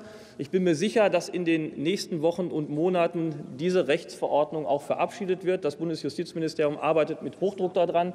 Und ich glaube, dass wir da den ganzen Bereich der Mediation mit stärken können, wenn wir nun Klarheit bezüglich der Ausbildung auch durch diese Rechtsverordnung haben. Gesetz ist geschafft, aber die Rechtsverordnung muss noch kommen. Nach anderthalb Jahren, bald zwei Jahren nach Veröffentlichung des Gesetzes ist es, glaube ich, reif, hier eine Abrundung der Mediation zu schaffen, insbesondere weil zwei neue Bereiche, ADR und ODR, eine Verordnung und eine Richtlinie aus Europa vor der Tür stehen und wir hier bei der Richtlinie die Umsetzung schaffen müssen. Konsistenz im Bereich der außergerichtlichen außergerichtlichen Streitbeilegung muss Ziel unserer Rechtspolitik sein. Und da müssen wir gemeinsam mit dem Justizministerium jetzt die richtigen Weichen stellen. Letzter Punkt, er ist angesprochen worden. Und äh, Kollege Lindner, ich war ja begeistert von Ihrer Rede. Ich kannte Sie so gar nicht als ähm, Unterstützer und Freund der sozialen Marktwirtschaft. Das freut mich, muss ich ganz ehrlich sagen. Sie müssen nur mal überlegen, jetzt, ob Sie in Ihrer, Ihrer Partei richtig sind, weil um Sie herum sind nicht so die Unterstützer der sozialen Marktwirtschaft. Von daher freue ich mich, dass Sie ja, ja, was Sie gesagt haben, war gut, aber man muss schon mal gucken, findet man sich in der eigenen Fraktion noch so wieder mit den Thesen, die man aufstellt. Sie haben betont den mündigen Bürger. Und der mündige Bürger muss natürlich auch da im Vordergrund stehen, wo es um Datenschutz, Datensicherheit geht. Und wir haben ja nicht nur die Magnus Hirschfeld Stiftung, wir haben auch die Bundesstiftung Datenschutz. Und ich würde mir sehr wünschen, und Herr Petzold hat ja auch die Magnus Hirschfeld Stiftung angesprochen, wenn wir dann mal die anderen Bereiche, die auch im Bereich des Etats des Bundesministeriums der Justiz liegen, in den Fokus richten würden. Ich glaube, dass es kein, keine glückliche Überlegung ist, die Bundesstiftung Datenschutz in die Stiftung Warentest zu überführen und sie damit aufzulösen. Wenn man alleine überlegt, was im Bereich NSA, Ausspähen von Daten, Datenkriminalität durch organisierte Kriminalität in Deutschland passiert, dann steht es uns gut an, eine Stiftung Datenschutz zu haben, sie zu stärken und sie nicht völlig ohne Mittel dastehen zu lassen. Die Magnus Hirschfeld Stiftung hat damals den höchsten Einzelposten im Etat im Einzelplan 7 des Bundesjustizministeriums gehabt. Wir hatten damals in der letzten Legislaturperiode vereinbart, dass es keine weiteren Einzelzahlungen mehr gibt. Jetzt haben wir wieder 1,75 Millionen Euro bereitgestellt. Für die Bundesstiftung Datenschutz haben wir das nicht gemacht. Wir müssen uns schon Gedanken machen, wie wir diesen Bereich auch stärken und dem Datenschutz alle Möglichkeiten geben, hier gut für uns Bürger da zu sein. Ich bedanke mich für die Aufmerksamkeit ja. und für die Toleranz der Präsidentin, ja, eine knappe so Minute mich länger reden zu lassen. Dankeschön. Das war Patrick Sensburg für die CDU-CSU-Fraktion. Nächste Rednerin ist jetzt Katja Keul für Bündnis 90 Die Grünen, deren Sprecherin für Rechtspolitik sie ist. Sehr geehrte Frau Präsidentin, liebe Kolleginnen und Kollegen, sehr geehrter Minister Maas. Bevor ich heute zum rechtspolitischen Tagesgeschäft komme, will ich an dieser Stelle doch noch ein paar Worte zum Thema der Sondersitzung der letzten Woche sagen. Waren Sie als Justizminister eigentlich in irgendeiner Weise eingebunden in die Entscheidung, Kriegswaffen an die kurdischen Peschmerga zu liefern? Nicht, dass ich eine Verfechterin des Bundessicherheitsrats wäre, im Gegenteil. Ich halte die gängige Praxis sogar für verfassungswidrig, weil Artikel 26 für Waffenexporte die Entscheidung des gesamten Kabinetts vorsieht. Aber selbst der Erfinder des Bundessicherheitsrates, Franz Josef Strauß, hat immerhin das Justizressort dabei berücksichtigt. Ist es wirklich so, dass die Kanzlerin den Kreis der Einbezogenen jetzt noch weiter beliebig verkleinert hat? Ich finde, das sollten Sie nicht einfach so hinnehmen. Eine Waffenlieferung an nichtstaatliche Kampftruppen ohne eindeutige Anfrage der Zentralregierung halte ich schlicht für völkerrechtswidrig. Daran ändert auch eine Zwischenlandung in Bagdad nichts. Ein Kollege wollte mir sogar erklären, die Peschmerga seien quasi ein Teil der irakischen Armee. Das ist nun wirklich völlig absurd, da Bagdad selber gerade keine Waffen an die Peschmerga liefert. Besonders bedenklich finde ich es, wenn einige das Völkerrecht als kleinkarierte Förmelei abtun. Denn die Einhaltung des Rechtes ist national wie international die Grundlage für Frieden und Freiheit. Daran zu erinnern sollte unter anderem die Rolle des Justizministers sein. Eine Verteidigungsministerin, die stolz darauf ist, ein Tabu zu brechen, kann sie in dieser Rolle jedenfalls nicht ersetzen. Echte Friedensförderung ist das, was die Stiftung für internationale rechtliche Zusammenarbeit seit Jahren leistet. Die Beratung von Ländern, die einen demokratischen Rechtsstaat aufbauen wollen. Leider fehlen diesen Programmen oft die Richter und Staatsanwälte. Hier sollte dringend das Dienstrecht angepasst werden, damit diejenigen, die sich in Auslandsmissionen engagieren, nicht um ihre Inlandskarriere gebracht werden. Zu Recht fördern Sie rechtsstaatliche Entwicklungen in anderen Ländern, wie beim Rechtsstaatsdialog mit China und der Kampagne Law Made in Germany. Manchmal beschleicht mich das Gefühl, wir könnten im Inland auch bald so eine Kampagne brauchen. Zu viele halten unseren funktionierenden Rechtsstaat für so selbstverständlich, dass sie vergessen, dass man dieses System auch hegen und pflegen muss, um es zu erhalten. Wenn Richterinnen und Richter darunter leiden, dass es nur noch um Schnelligkeit und Erledigungszahlen geht und die Qualität der Urteile immer weniger wertgeschätzt wird, dann haben wir insgesamt ein Problem. Und dann braucht es auch den Bundesminister, um gegenüber dem Finanzressort, aber auch gegenüber den Ländern deutlich zu machen, welche Bedeutung das Vertrauen in die Rechtsprechung für das Funktionieren unserer Gesellschaft hat. Deswegen sind Sie auch gefordert, die unsäglichen Schiedsgerichte in TTIP und CETA zu verhindern. Vor der Sommerpause hatten Sie laut Vor der Sommerpause hatten Sie laut und deutlich gesagt, dass es sowas mit Ihnen nicht geben wird. Und jetzt lese ich auf tagesschau.de, dass bereits bei CETA genau diese Klagerechte im Vertragstext stehen. Was unternehmen Sie denn jetzt dagegen? Vertrauen kann auch dadurch aufs Spiel gesetzt werden, dass wir als Gesetzgeber immer schneller immer neue Reformgesetze verabschieden. Das ist nicht nur für die Rechtsanwender eine Zumutung. Nehmen wir das Insolvenzrecht. Statt jetzt eine mittelmäßig gelungene Neuregelung zum Konzerninsolvenzverwalter auf den Weg zu bringen und im nächsten Jahr dann das Anfechtungsrecht zu reformieren, sollten Sie vielleicht einfach den Gesetzesentwurf noch einmal zurücknehmen und dann ein Gesetz auf den Weg bringen, das die drängenden Probleme gleich mit erfasst. Dank. Auch der Gesetzesentwurf auch der Gesetzesentwurf zur Kinderpornografie sollte noch einmal überdacht werden, besonders bei dem missglückten Vorschlag zur Strafbarkeit bloßstellender Bilder. Die überfälligen Anpassungen die überfälligen Anpassungen an die EU-Richtlinie sind sicherlich angebracht, aber trotzdem gibt es Überlegungen, wie das Sexualstrafrecht mal grundsätzlich neu geordnet und entschlackt werden könnte. Ich denke hier an den Vorschlag des Deutschen Juristinnenbundes zu einer systematischen Neuordnung der Paragraphen 174 bis 177, der es wert ist, bedacht zu werden. Es gibt aber auch Fälle, wo die Belastung der Menschen gerade durch eine Verzögerung des Gesetzesverfahrens gravierend sind. So haben Sie angekündigt, den steigenden Mieten durch die Mietpreisbremse einen Riegel vorzuschieben. Das ist ja gut gemeint. Aber wenn jetzt diese Mietpreisbremse noch Monate auf sich warten lässt, dann war das ein Bumerang, da sie allen die Gelegenheit geben, vorher noch mal schnell rauszuholen, was rauszuholen ist.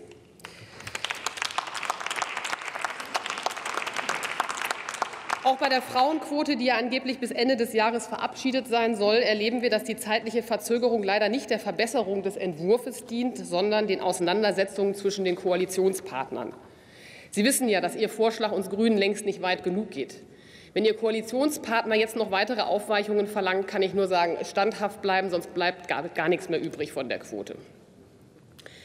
Und dann gibt es da noch sinnvolle Projekte, die schon so lange in der Diskussion sind, dass ich nicht verstehe, warum sich da gar nichts mehr tut der Whistleblower-Schutz oder auf Deutsch Schutz der Hinweisgeber. Wir Grünen haben bereits in der letzten Legislatur nach umfangreichen Fachgesprächen einen Entwurf vorgelegt, den die Mehrheitsfraktionen abgelehnt haben, und von Ihnen haben wir dazu immer noch nichts gesehen. Wir können den Entwurf gerne noch mal vorlegen. Sie können aber auch, wenn Sie nächste Woche auf dem Deutschen Juristentag in Hannover sind, Herr Minister, den Parlamentarischen Abend der Grünen Bundestagsfraktion besuchen. Dort werden wir den Entwurf noch einmal zur Diskussion stellen. Und wenn Sie dann überzeugt sind, bringen Sie das Gesetz doch einfach selber ein und verschaffen Sie ihm so die erforderliche Mehrheit. Bis dahin erst einmal vielen Dank für Ihre Aufmerksamkeit. Katja Koll war das Bündnis 90 Die Grünen. Weiter in der Debatte geht es jetzt mit Elvira Drobinski-Weiß für die SPD-Fraktion. Probleme haben. Ich weiß nicht, wie es Ihnen geht mit dem Sound heute. Der ist wirklich schwierig. Und manche klugen Reden, fraktionsübergreifend, sind sehr, sehr schlecht zu verstehen. Und wir wollen jetzt versuchen, jetzt können wir es nicht mehr ändern in der laufenden Debatte, aber wir werden es heute Abend noch mal neu einpegeln lassen, weil wäre ja schade, wenn diese großartigen Beiträge nicht alle hören könnten. Und das ist heute wirklich schwierig. Also wirklich richtig extrem schwer. Und wenn wir blöd gucken, hat es nicht mit Ihrer Rede zu tun, sondern mit dem Hörvermögen, das äh, eingeschränkt ist. So, nächste Rednerin Elvira. Kurze Erklärung der Sitzungsleiterin, Bundestagsvizepräsidentin Claudia Roth. Zu Tonproblemen hier im Hohen Haus. Weiter geht es jetzt in der Debatte Elvira Drobinski-Weiß, SPD. Alle reden von TTIP, wir auch. Aber im Moment finde ich CETA viel wichtiger. Seit 2009 verhandelt äh, die EU und Kanada über ein umfassendes Handelsabkommen. Das Abkommen soll, ähnlich ja wie TTIP äh, mit den USA, Handelshemmnisse senken und Kooperationen bei der Standardsetzung entwickeln. Sowohl die EU als auch Kanada versprechen sich davon ein gesteigertes Wirtschaftswachstum, auch ein Zuwachs an Arbeitsplätzen. Soweit vielleicht so gut. Aber schauen wir doch mal genauer hin. Ich möchte es etwas deutlicher sagen. Es gibt mehrere Passagen, das ist ja auch gerade eben schon mal kurz angeklungen, die wir Sozialdemokratinnen und Sozialdemokraten sehr kritisch sehen. Raus muss aber auf jeden Fall das Kapitel über die außergerichtlichen Streitschlichtungsverfahren, bekannt auch als Investorenschutzabkommen. Es kann doch nicht sein, dass zwischen zwei Staaten mit entwickelten Rechtssystemen Investoren die Möglichkeit haben, die EU oder ihre Mitgliedstaaten direkt auf Entschädigung für entgangene, für entgangene Gewinne oder sogenannte indirekte Enteignung zu verklagen. Lange hieß es, am 25. September soll der formelle Abschluss der Verhandlungen durch die Paraffierung des Vertragstextes erfolgen. Letzte Woche dann die Botschaft, die EU-Behörde will die Verhandlungen zu CETA für abgeschlossen erklären, ohne den Text vorher paraffiert zu haben. Die Paraffierung ist vielleicht nur in Anführungszeichen eine Formalie, aber eine mit Symbolcharakter. Denn hier wird doch der Versuch unternommen, Kritik des Parlaments zu umgehen. Das müssen wir verhindern, der Investorenschutz muss raus, sowohl aus CETA als auch aus TTIP. Was bewegt die Menschen derzeit verbraucherpolitisch in Deutschland noch? Einige Punkte hat der Herr Bundesjustizminister und für den Verbraucherschutz zuständig ja ebenfalls genannt. Ein kurzer Blick durch die Schlagzeilen der letzten Tage. Die EZB senkt den Leitzins auf 0,05 Prozent. Die Frage der Verbraucherinnen und Verbraucher geht die Enteignung weiter, wälzen die Banken den EZB-Strafzins auf mein Konto ab? Oder tricksen leicht gemacht, sind Hotelbewertungen im Internet verlässlich? Oder Millionen Deutsche werden online abgezockt tappe ich jetzt nach der Buttonlösung, die ja eine Verbesserung gebracht hat, in eine neue Falle. Ich nenne hier das Stichwort Hausaufgabenhilfe, vielleicht gerade für unsere jüngeren Zuhörerinnen und Zuhörer. Oder auch das Thema, wenn Sie nicht wissen, wie Sie Ihren Braten zu Ende braten sollen, Thema Rezeptzugang. Oder umstrittener Fahrdienst Uber. Legal, illegal, SCH, Punkt, Punkt, egal. Frage der Verbraucher. Ist das Unternehmen Uber mit den ja offensichtlich akzeptierten Mitfahrgelegenheiten vergleichbar? Sehr geehrte Kolleginnen und Kollegen, dies ist natürlich eine kleine, zugegeben auch provokante Auswahl. Wir wissen, das Themenspektrum ist viel größer und die Reaktion der einzelnen Konsumenten auf solche Schlagzeilen sicherlich sehr verschieden. Klar ist, folgt man den Ergebnissen der Verbraucherforschung und erkennt an, dass es sowohl den verletzlichen wie den vertrauenden und den verantwortungsvollen Verbraucher gibt, bedarf es verschiedener Arten der Ansprache und Unterstützung dieser verschiedenen Gruppen seitens der Politik. Und Herr Kollege Lindner, noch mal als Hinweis für Sie, den mündigen Verbraucher, die mündige Verbraucherin gibt es nicht. Antworten bzw. Lösungen zu finden auf die sehr vielfältigen Fragen und Probleme am Finanzmarkt oder in der digitalen Welt stehen in dieser Legislaturperiode klar im Vordergrund unserer Verbraucherpolitik. Das spiegelt sich auch im Haushalt des Bundesministeriums wider. Wir werden zukünftig verschiedene Verbraucherzentralen in den Bereichen Finanzmarkt und digitale Welt mit einer Marktwächterfunktion ausstatten die die Konsumenten in die Lage versetzen sollen, sich am Markt sicherer zu bewegen. Und wir wollen weitere im Koalitionsvertrag festgeschriebene Projekte voranbringen, wie zum Beispiel die Einsetzung des Sachverständigenrats. Der Herr Bundesminister hat ja bereits darauf hingewiesen. Nicht neu im Koalitionsvertrag und bereits über mehrere Jahre bezuschusst, etwa die Stiftung Warentest. Als unbestechliches Portal für Produktbewertung aber auch als Informationsplattform verdient sie weiterhin unsere größte Anerkennung und finanzielle Unterstützung. Wir sehen aber auch die europäische Dimension des Verbraucherschutzes. Das Netzwerk der europäischen Verbraucherzentren und hier vor allen Dingen das Europäische Verbraucherzentrum in Kehl leisten seit Jahren hervorragende grenzüberschreitende Dienste. Diese Funktionsfähigkeit muss unbedingt weiter sichergestellt werden. Und bei den eben zitierten Schlagzeilen müssen wir uns auch die Frage gefallen lassen, haben wir alle Problembereiche schon im Blick? Investieren wir genug unserer Mittel in die Forschung der Verbraucherpolitik? Und wie können wir die aktuell zur Verfügung stehenden Haushaltsmittel optimal verteilen? Der Herr Minister hat Mietpreisbremse, Bestellerprinzip im Maklerrecht bereits angesprochen. Es gibt weitere Fragen, das bildungs- und wissenschaftsrechtliche Urheberrecht, gesetzliche Regelungen über die Höhe der Dispozinsen wurden genannt, das wichtige Konto für jedermann. Diese Arbeitsvielfalt im Bereich Verbraucherpolitik erfordert jedoch auch in unserem Ministerium die entsprechende Men- und Womanpower. Ich unterstütze den Ausbau der personellen Ausstattung und fordere die räumliche Trennung von Justiz und Verbraucherpolitik im BMJV im Sinne einer effektiven Arbeitsatmosphäre schnellstmöglich zu beenden. Vielen Dank. Vielen Dank, Frau Präsidentin, für die Die Rede von Elvira Drobinski. Weiß für die SPD-Fraktion war. Das nächste Redner ist jetzt Volker Ulrich für die CDU-CSU.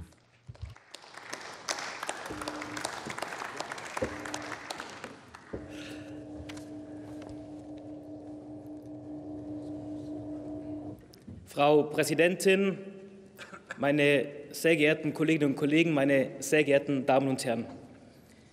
Die Ereignisse der letzten Wochen haben uns den Wert eines funktionierenden Rechtsstaats vor Augen geführt. Der Schutz der Würde des Menschen und die Gewährleistung von Recht und Gerechtigkeit sind zentrale Aufgaben der Politik. Wir haben uns gemeinsam auf den Weg gemacht, um gegen Zwangsprostitution und Menschenhandel zu kämpfen. Die Gespräche, die bislang geführt worden sind, sind vielversprechend, aber noch nicht zufriedenstellend. Wir haben bei zahlreichen Punkten noch keine Einigkeit hinbekommen, die wir eigentlich erzielen müssten, wenn wir es mit dem Schutz der Opfer wirklich ernst meinen müssten. Ich spreche an, dass wir bei der Frage des Prostitutionsgesetzes und dem Weisungsrecht nicht weitergekommen sind, die Frage des Mindestalters und die Frage der Gesundheitsuntersuchungen und der verpflichtenden Beratungen stehen noch im Raum. Und es ist auch nicht absehbar, wann das Bundesjustizministerium mit dem Bundesfamilienministerium endlich den Gesetzentwurf vorlegt, weil wir im Augenblick nicht mehr zögern dürfen, sondern wir werden uns langsam für unser Zögern verantworten müssen, wenn wir in dieser Frage nicht endlich zu einer politischen Entscheidung kommen. Es gilt, wenige Frauen haben ein Gesetz und viele Frauen, die jetzt Hilfe benötigen, haben keinen gesetzlichen Schutz. Das müssen wir ändern.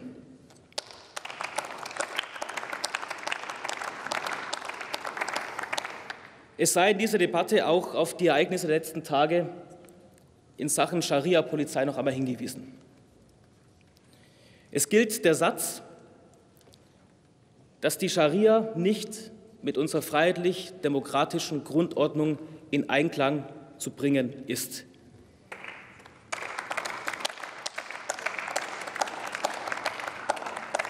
Und wer die Scharia und Dschihadisten unterstützt, will nichts anderes, als diese freiheitlich-demokratische Grundordnung zu beseitigen. Und ich glaube, dass wir schon darüber debattieren sollten, weil die Frage nicht erlaubt ist, ob es doch harmlos sei, wenn es nur zehn sind, ob es zu tolerieren sei, wenn es hundert sind. Wo fangen wir an und wo hören wir auf?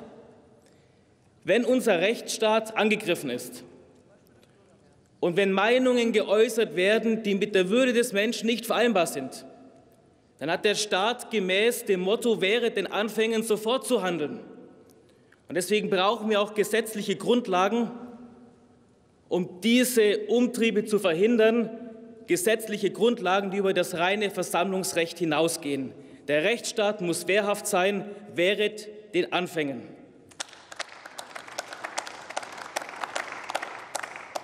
Und wir brauchen auch härtere Gesetze für diejenigen, die Sympathie haben mit Terrorbanden wie der ISIS und die internationale Dschihadisten unterstützen.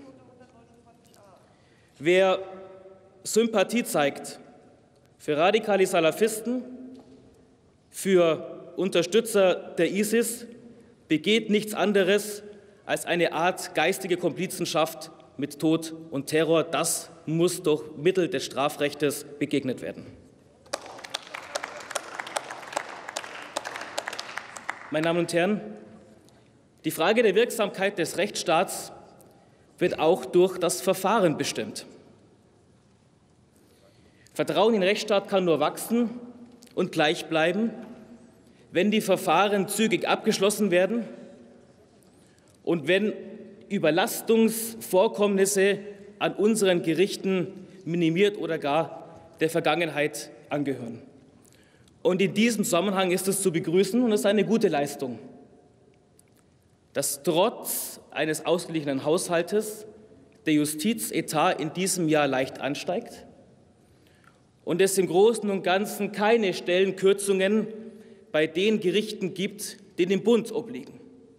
Ganz anders sieht es in einigen Ländern aus. Und da, Frau Kollegin Keul, verstehe ich Ihre Irritation über Verfahrensfehler nicht, wenn dort in den Ländern, wo die Grünen maßgeblich in der Regierung sind, Baden-Württemberg und Rheinland-Pfalz, dort wird bei der Justiz gespart, dort werden Stellen abgebaut und Sie können sich hier nicht beklagen und dort, wo die Grünen Verantwortung tragen, wird die Justiz totgespart. Das ist kein redliches Verhalten.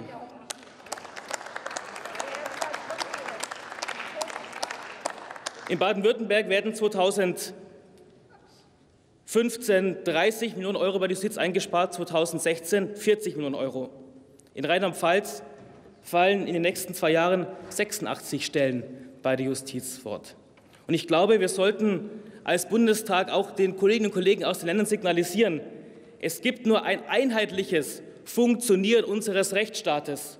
Und die Gesetze, die der Bund beschließt, müssen auch durch eine funktionierende Justiz in den Ländern angewandt werden.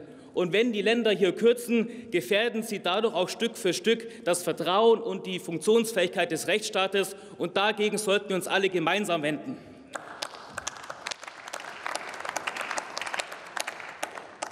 Meine Damen und Herren, bei allen Detailfragen in vielen Themen, die wir rechtstechnisch debattieren und die wir in vielen anderen Punkten angehen, bleibt eines unsere vordringlichste Aufgabe, der Schutz der Würde des Menschen und die Geltung des Rechts und Gerechtigkeit. In diesem Sinne lassen Sie uns gemeinsam diesen Justizhaushalt beraten und zu einem guten Abschluss bringen. Vielen Dank. Volker Ulrich war das für die CDU-CSU-Fraktion. Nächster Redner ist jetzt Metin Hakberdi für die SPD. Vielen Dank. Sehr geehrte Frau Präsidentin, liebe Kolleginnen und Kollegen! Die sozialdemokratische Fraktion freut sich, dass mit dem Entwurf dieses Einzelplans insbesondere die Verbraucherpolitik konsequent und adäquat in unserem Sinne weiterentwickelt wird. Das betrifft die zielgerichtete weitere Stärkung der Verbraucherzentralen. Geld, was wir in diesem Bereich investieren, ist doppelt gut investiertes Geld. Erstens sparen wir den Bürgerinnen und Bürgern wertvolle Zeit, indem wir die Verbraucherzentralen so ausstatten, dass sie im Bereich der Finanzmärkte und Banken eine Marktwächterfunktion übernehmen. Aber zweitens hat bereits die bloße Existenz von Marktwächtern eine positive Auswirkung auf den Markt selbst. Die Anbieter von Finanzprodukten werden in Kenntnis der Marktwächter bei der Entwicklung und dem Vertrieb ihrer Produkte in Zukunft vorsichtiger sein, und das ist auch gut so. Besonders wichtig ist, dass auch im Bereich der digitalen Welt eine weitere Stärkung des Verbraucherschutzes stattfinden wird.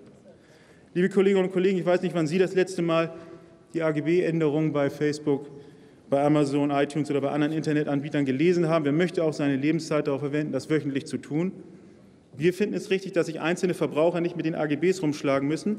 Wir müssen unsere Verbraucherzentralen befähigen, als Anwälte der Verbraucherinnen und Verbraucher zu agieren. Das tun wir nun, indem wir ihnen die finanziellen Mittel geben, um für die Verbraucher einzutreten. Wir werden aber auch die rechtlichen Rahmenbedingungen verbessern. Gesetz zur Verbesserung der zivilrechtlichen Durchsetzung von verbraucherschützenden Vorschriften des Datenschutzrechts. Hört sich kompliziert an, ist aber in der Sache ganz einfach. In Zukunft müssen Internetdienstleister, die mit den Daten ihrer Kunden nicht sorgfältig umgehen, damit rechnen, dass nicht nur einzelne Kunden gegen sie vorgehen werden. In Zukunft werden wir dafür sorgen, dass diese Dienstleister es mit den Verbraucherzentralen zu tun bekommen, die wir dafür auch finanziell ausstatten. Das, meine sehr geehrten Damen und Herren, ist Waffengleichheit, das ist sozialdemokratische Politik und das macht den Unterschied ganz konkret für jede einzelne Verbraucherin und für jeden einzelnen Verbraucher. Zu einer Debatte über den Haushalt gehört aber auch, dass die Rechtspolitik in einem breiteren Sinne aufgegriffen wird. Ein Thema, dessen Beratung wir in den nächsten Monaten aufnehmen, aber noch intensiv in den nächsten Jahren in dem nächsten Jahr weiterführen werden, betrifft die Sterbehilfe. Das Thema treibt die Menschen in unserem Land um. Meiner Ansicht nach ist es wichtig, dass wir nicht eine entkoppelte Gesinnungsethikdebatte führen, die die Nöte und Sorgen der betroffenen Menschen aus den Augen verliert. Sterben, menschenwürdiges Sterben, ist kein abstrakter Gegenstand einer Ethikdebatte. Menschenwürdiges Sterben ist eine sehr konkrete Angelegenheit. Es kommt auf die konkrete Situation der betroffenen Menschen an. Das ist der Suizidwillige, die behandelnden Ärzte und die Angehörigen. Diese müssen im Fokus bleiben. Die eine gute und richtige Entscheidung wird es in dieser Frage wohl nicht geben.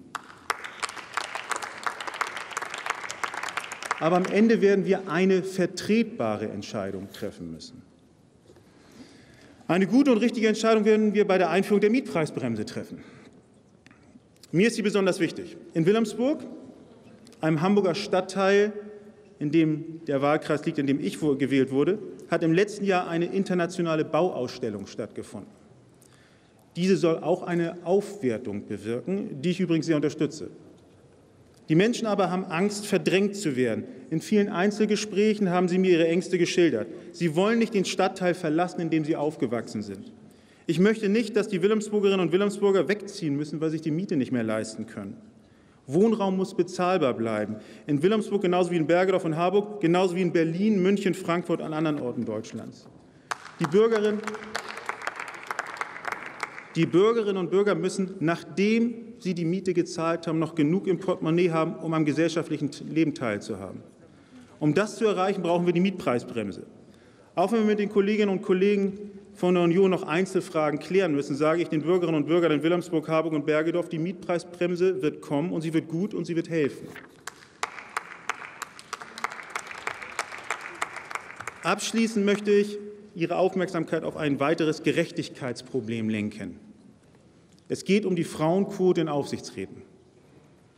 Zitat, solange Selbstregulierung, das ist ein Zitat, solange Selbstregulierung erfolgversprechend ist, bedarf es gerade keiner gesetzlichen Quoten. Diese Annahme von Sabine Leuthäuser-Schnarrenberger hat sich eben als falsch erwiesen. Die beschlossene Selbstverpflichtung von 2001 hat eben nicht zu Chancengleichheit der Frauen in Spitzenpositionen der Wirtschaft geführt. Der Minister hat in seiner Eingangsrede die Zahlen genannt. Dieser Diskriminierung der Frauen, und machen wir uns mal nichts vor, ja, um nichts anderes handelt es sich. Es handelt sich um Diskriminierung muss gesetzgeberisch entgegengetreten werden. Ich bin überzeugt, dass die Frauenquote in Aufsichtsräten ein erster Schritt ist. Gelingt es der Wirtschaft nicht, auch in Vorständen eine deutliche Erhöhung des Anteils von Frauen zu erreichen, wird der Gesetzgeber wieder tätig werden müssen. Alle sind gut beraten, es nicht darauf ankommen zu lassen. Glück auf. Vielen Dank. Die Rede von Metin Hakverdi war das für die SPD-Fraktion. Nächste Rednerin ist jetzt äh, Mechthild Heil für die CDU-CSU.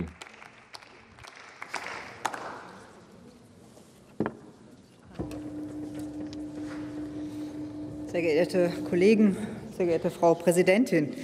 In allen Debatten zu verbraucherpolitischen Fragen wird immer der gleiche Gegensatz zwischen der Wirtschaft und den Verbrauchern konstruiert. Und für meinen Geschmack haben sich da leider viel zu viele mit diesem Feindbild gut angefreundet. Ja, es gibt viel zu viele, die das sogar befeuern. Die Wirtschaft auf der einen Seite ruft dann immer, lass uns doch nur in Ruhe, weniger Eingriffe, umso besser. Und die Verbraucherverbände und die NGOs, die sagen uns, wir brauchen mehr Regeln, wir brauchen härteres Durchgreifen bis hin zu Totalverbot von bestimmten Produkten. Nur so können wir dann die Verbraucher richtig schützen. Und auch heute hören wir Ähnliches. Wir hören, die Dispozinsen müssen gedeckelt werden. Und das an dieser Stelle auch, Herr Minister Maas, das ist nicht Gegenstand unseres Koalitionsvertrages, auch wenn Sie das heute hier so gesagt haben. Wir hören, vermeintlich ungesunde Lebensmittel sollen Warnfarben tragen und dürfen nur noch beschränkt beworben werden. Das Gleiche gilt auch für manche Finanzanlageprodukte. Da sind der Kreativität wirklich keine Grenzen gesetzt und der, die Politik kriegen einen ganz, ganz großen Wunschzettel vorgelegt. Es soll gebremst, gedeckelt und verboten werden. Das Misstrauen gegenüber der Wirtschaft wird geschürt. Auf der anderen Seite wird die moralische Überlegenheit der eigenen Position nicht mehr in Frage gestellt. Ein Beispiel möchte ich Ihnen geben aus dem großen Forderungskatalog. Wir alle, und ich glaube, das ist unstrittig, essen zu süß, wir essen zu fettig und wir essen zu salzig. Und da wir alle unbelehrbar sind, soll das verboten werden. Gefordert wird dann von der Fettsteuer über die Verbannung von den Süßigkeiten aus den Regalen bis hin zu der Verringerung der Abfüllmengen von Limonaden alles. Aber glaubt jemand, auch hier von uns, wirklich ernsthaft, dass diese Verbote uns am Ende alle ein wenig weniger krank, ein wenig weniger dick oder weniger unglücklich machen? Und will irgendjemand von uns wirklich in einem solchen Verbotsstaat leben? Ich kann das beantworten, ich will das nicht. Und deshalb sage ich, deshalb sage ich auch, unsere Antwort kann nur heißen, beide Seiten tragen Verantwortung. Auf der einen Seite die Wirtschaft und auf der anderen Seite die Kunden. Und wir als Koalition entlassen auch keiner dieser beiden Partner aus ihrer Verantwortung. Denn Wirtschaft und Verbraucher, das sind keine Gegensätze oder sogar keine Feinde, sie bedingen einander. Aber ihr Umgang miteinander braucht bestimmte Regeln. Ich möchte an der Stelle die Verbraucherzentrale Bundesverband zitieren, die ist wunderbar formuliert. Wenn ich darf, zitiere ich, die Idee des äh, Verbraucherschutzes ist so eng mit dem Schutz des Gemeinwohls verbunden, dass der Staat es sich nicht leisten kann, die Verbraucherpolitik nur als Kontrapunkt der Wirtschafts- und Industriepolitik zu betrachten. Verbraucherpolitik ist Wirtschaftspolitik von der Nachfrageseite her. Wir können es uns deshalb nicht leisten, weil es den Verbrauchern schaden würde. Ich möchte das an einigen Beispielen verdeutlichen. Am 1. August ist das neue Honoraranlageberatungsgesetz in Kraft getreten. Neben der klassischen Beratung auf Provisionsbasis können sich nun die Verbraucher auch gegen ein Honorar beraten lassen. Und so weit, so gut. Ja, und es können auch Fehlanreize bei Beratern bestehen. Sie können mehr an ihren eigenen Geldbeutel denken als an den Geldbeutel ihrer Kunden. Aber das gilt für einen Honorarberater genauso wie für einen Berater, der auf, Honorar, auf äh, Provisionsbasis arbeitet. Und nun hören wir immer wieder die Forderungen, die provisionsbasierte Beratung sollte komplett abgeschafft werden. Ich finde, das ist völliger Unsinn. Denn wir müssen an die Menschen denken, die sich keine dieser 100 oder 50 bis 100 Euro Beratungshonorare pro Stunde leisten können die zum Beispiel, wenn sie zum Beispiel eine Haftpflichtversicherung abschließen wollen. Was, was, was würde denn mit denen passieren? Wir sind nämlich nicht hier gewählt, um immer neue Regulierungs- oder Versorgungsorgien zu feiern. Das wäre meist sicherlich der einfachere Weg, aber es ist fast auch immer der falsche Weg. Mit Verboten, mit Deckeln, mit Bremsen werden wir die verbraucherpolitischen Fragen unserer modernen Zeit nicht beantworten. Nachhaltig schon gar nicht. Ich plädiere für eine wissenschaftlich und empirisch fundierte Verbraucherpolitik. Sie greift auf die, auf die, Sachverständnis von Experten zurück, auf Erkenntnisse aus der Verbraucherforschung und auf die Ergebnisse der Marktbeobachtung, zum Beispiel durch die spezialisierten Verbraucherzentralen. Wir werden einen Sachverständigenrat einrichten. Die Pläne, haben wir eben gehört, liegen schon in der Schublade des Verbrauchersministeriums. Ministeriums. Und Herr Minister, ich würde mich dann wirklich auch freuen, wenn die schon bei Ihnen vorliegen, dass Sie dann auch das Licht der Öffentlichkeit erblicken würden, zumal Sie dann ja schon im Oktober mit Ihrer Arbeit beginnen sollen. Und wir stellen erneut Gelder, nämlich 637.000 Euro für die Verbraucherforschung und für die Finanzierung einer Stiftungsprofessur Professur Verbraucherrecht ein. 225.000 Euro immerhin dafür. Und wir sorgen für eine intensivere Marktbeobachtung durch die Verbraucherzentralen. Wir hatten bereits im letzten Haushaltsjahr, im Jahre 2013, dem VZBV 2,5 Millionen Euro als Anschubsfinanzierung für den Finanzmarktwächter zur Verfügung gestellt. Und mit diesem Geld können die Verbraucherzentralen erstmalig die wertvollen Erkenntnisse, die sie aus ihrer flächendeckenden Beratung erhalten, systematisch erfassen und die Daten können dann erstmalig ausgewertet werden, analysiert und am Ende auch uns als Politiker zur Verfügung gestellt werden. Und diese 2,5 Millionen Euro sind bis jetzt im Haushalt 2015 ebenfalls enthalten. Und ich als äh, Beauftragte Verbraucherschutz würde natürlich diese Summe auch gerne erhöhen, wegen mir auch, wie wir angedacht hatten, auf die 4,5 Millionen Euro, vorausgesetzt, wenn das Modell des Wächters wirklich trägt und wir das in andere Bereiche ausweiten wollen.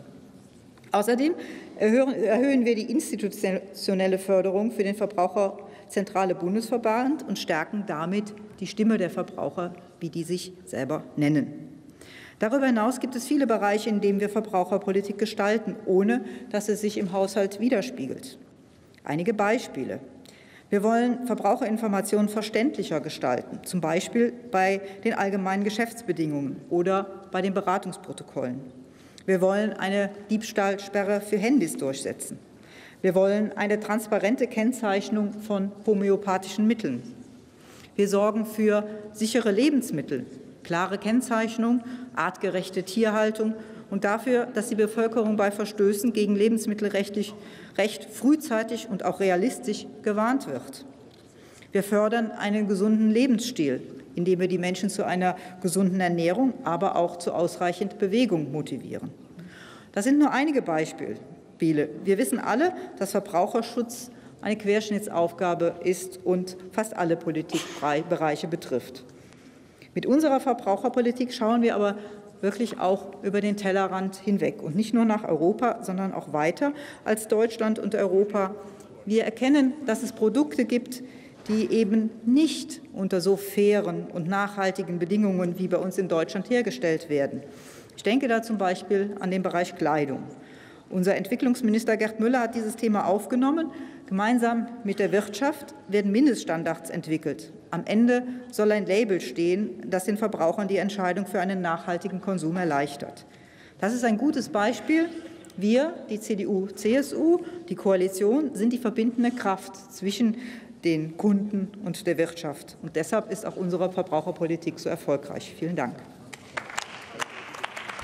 Das sagt die Verbraucherschutzbeauftragte der CDU-CSU-Fraktion Mechthild Heil. Jetzt erwarten wir am Rednerpult Klaus-Dieter Gröhler für die CDU-CSU-Fraktion, der letzte Redner hier zu diesem Einzelplan. Frau Präsidentin, Herr Bundesminister, meine Damen und Herren! Als äh, letzter Redner zu dem Einzelplan Gestatten Sie mir vielleicht äh, eine allgemeine Einleitung. Der Kollege Lindner wartet schon darauf, das ist sehr gut. Ich will Sie noch mal ein Momentchen zurücknehmen. Heute vor einem Jahr standen wir alle auf der Straße und haben fleißig Wahlkampf gemacht. Und damals passierte es mir hier in meinem Wahlkreis in Berlin, dass ich äh, ein älteres Ehepaar traf am Rüdesheimer Platz und die sagten auf meine Frage, darf ich Ihnen das Regierungsprogramm der CDU-CSU mitgeben, sagten die mir, wir haben nicht viel Zeit. Dachte ich, typisch Pensionäre. Aber der Mann sagte zu mir, nennen Sie mir drei Gründe, warum wir Sie wählen sollen. Sagte ich, damit Angela Merkel Kanzlerin bleibt. Erster Punkt. Zweiter Punkt, dass es dass es keine Steuererhöhungen gibt. Und dritter Punkt, dass es keine Schulden in Zukunft neu mehr gibt. Daraufhin sagte der Mann zu mir, meine Damen und Herren, okay, über die Merkel kann man nicht meckern. Originalton Berlin, das ist, glaube ich, mit so das höchste Lob, was ein Berliner verteilen kann. Ja, ich sehe von Kollegen Nutschak äh, Zustimmung an der Stelle. Aber dann sagte er, junger Mann, und ich weiß nicht, ob das seine Distanz zur Politik darstellen sollte oder für mich äh, ein Lob sein sollte, junger Mann, das mit den Schulden, das glauben Sie doch selbst nicht. Er sagt, die Politik ist doch viel zu verliebt in immer neue Projekte und Sie werden doch aus dieser Spirale nie rauskommen. Gucken Sie sich mal die Geschichte der Republik an. Sie haben immer neue Schulden gemacht. Meine Damen und Herren, ich weiß nicht, ob dieser Bürger sich an dieses Gespräch erinnert, wenn er jetzt in der Zeitung von der schwarzen Null liest. Aber ich will ihm, vielleicht guckt er ja auch Parlamentsfernsehen, weiß ich nicht, bei dem schönen Wetter ganz bestimmt nicht, aber ich will ihm Pass pro Toto zurufen, Nein, wir haben dieser Versuchung widerstanden. Dieser Haushalt ist ausgeglichen. Und warum erzähle ich diese kleine Geschichte, meine Damen und Herren? Warum sie, weil sie auch bei den Haushaltsberatungen für einen so kleinen Etat wie den von Minister Maas leitend sein muss, meine Damen und Herren.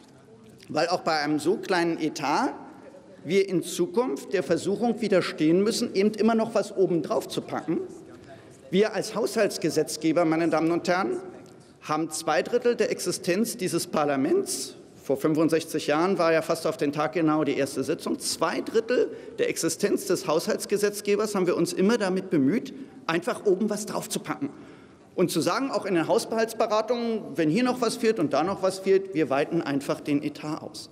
Damit ist jetzt Schluss. Das ist auch an uns eine größere Herausforderung, auch für die Arbeit der jeweiligen Berichterstatter. Wir werden in Zukunft, wenn wir an der einen oder anderen Stelle feststellen, da fehlt was, dann werden wir einen Deckungsvorschlag machen müssen. Das ist für die Politik vielleicht auch eine zusätzliche Hürde, aber es macht es auch ein Stück weit spannender.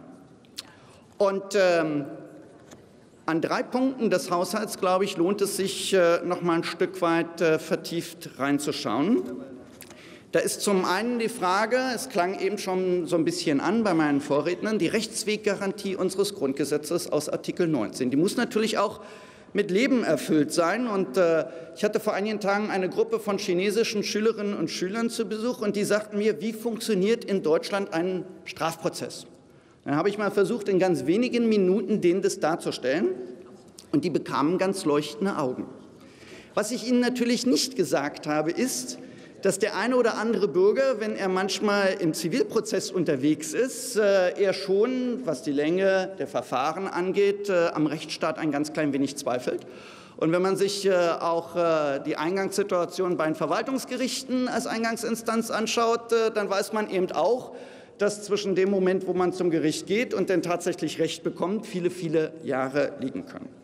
Frau Winkelmeier-Becker hatte darauf hingewiesen, das Abziehen einer Stelle aus dem Bundesverwaltungsgericht rüber ins Ministerium ist an der Stelle aus meiner Sicht das falsche Signal, auch das falsche Signal an die Länder. Und darüber werden wir reden müssen. Und wenn wir im Koalitionsvertrag gesagt haben, wir wollen das Rechtsprechungsmonopol des Staates stärken, illegale Paralleljustiz werden wir nicht dulden, dann werden wir an der Stelle es auch entsprechend äh, darstellen müssen.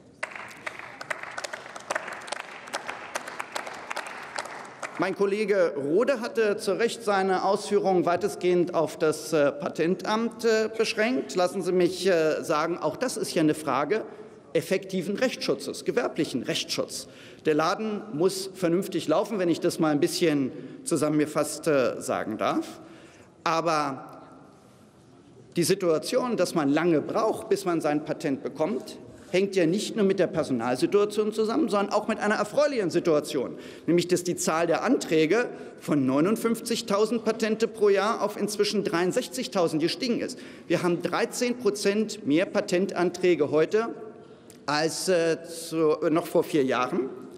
Und wir haben dort eine Menge offener Stellen. Insofern ist die Frage, einfach zusätzlich Stellen zu fordern und zu sagen, da hätte das Ministerium mehr ausstatten müssen, sicherlich nicht die richtige Argumentation.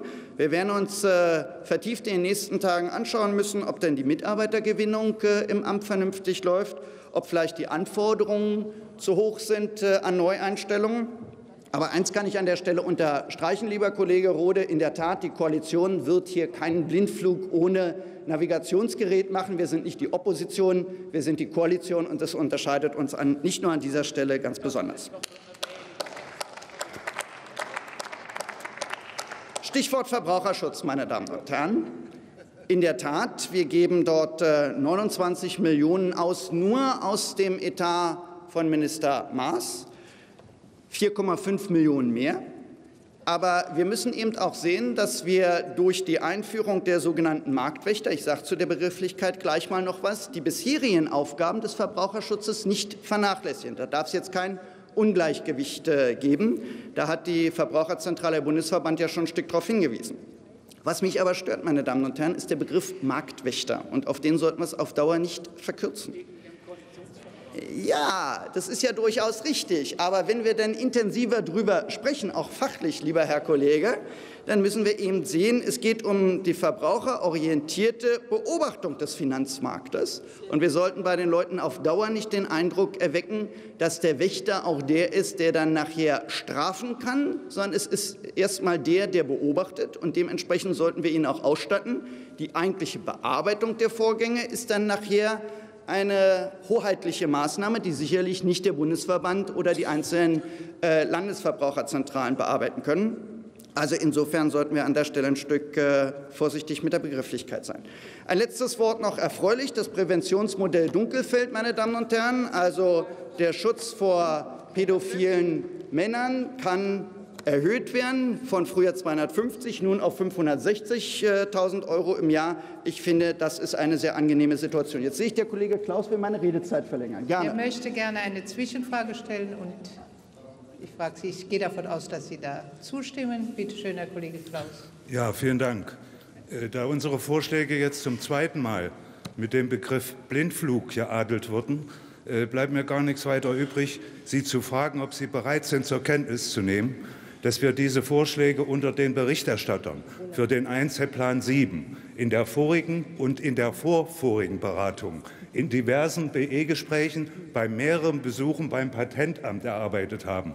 Und der Kollege Rode hätte bestimmt nichts dagegen, wenn Sie den Kollegen Binding in unserem Parlament als Kronzeugen für die solide Erarbeitung dieser Vorschläge äh, zu Rate ziehen könnten. Und ich frage Sie, ob Sie das mal zur Kenntnis nehmen können, dass es hier nicht um Blindflüge handelt bei den Vorschlägen, sondern um solide ausgedachte Überlegungen.